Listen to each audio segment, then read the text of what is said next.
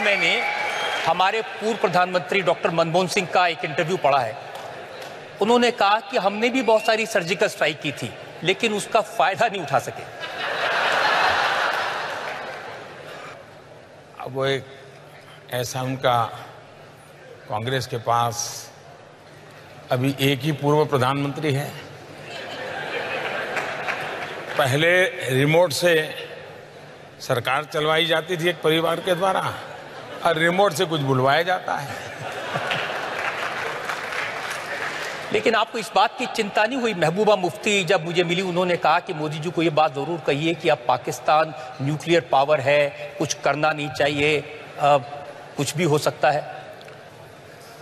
मैं हैरान हो जाता हूँ कि जो लोग हिंदुस्तान में अपने आप को नेता मानते हैं भारत के संविधान के हिसाब से चुनाव लड़ते हैं।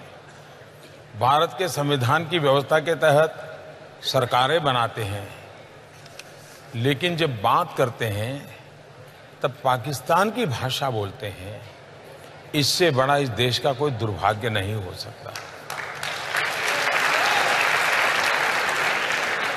जहाँ तक न्यूक्लियर का सवाल है, भारत एक बहुत ही जिम्मेवार देश है।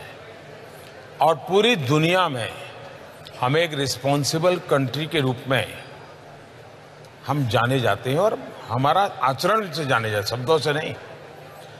हम ही हैं जिन्होंने न्यूक्लियर की हमारी डॉक्ट्रिन में नो फ़र्स्ट यूज़ ये डिक्लेयर किया हुआ है। दुनिया के दबाव में नहीं किया है। ये अटल बिहारी वाजपेयी जी ने डॉक्ट्रिन में भारत की हिम्मत की बात है कि कहा और भारत उसमें ट्रस्ट से मस नहीं है। कोई भी सरकार आए। तो मैंने एक दिन अभी कह दिया है कि भैया बहुत हो गया। ये खिलौना नहीं है। ये एक रिस्पॉन्सिबल कंट्री का व्यवहार होता है। और भारत इस विषय में रिस्पॉन्सिबल है।